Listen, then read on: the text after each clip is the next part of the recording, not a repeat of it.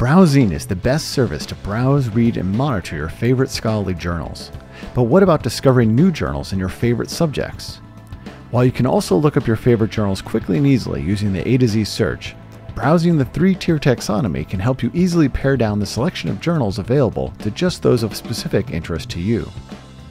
Simply click on a Tier 1 subject and then continue to drill down through the available options until you are browsing the journals you can always navigate back up the taxonomy like this. If you don't see your subject right away, or you are not sure where it might be in the taxonomy, you can use the subject search to quickly target an area and continue to browse from there. On the web, you can limit to just subject results, and on the mobile, use the toggle. If you already have a set of journals assembled on your bookshelf and are curious if there are other journals similar to those you have identified, the Journal Table of Contents page has a link to one or more subjects assigned to that journal.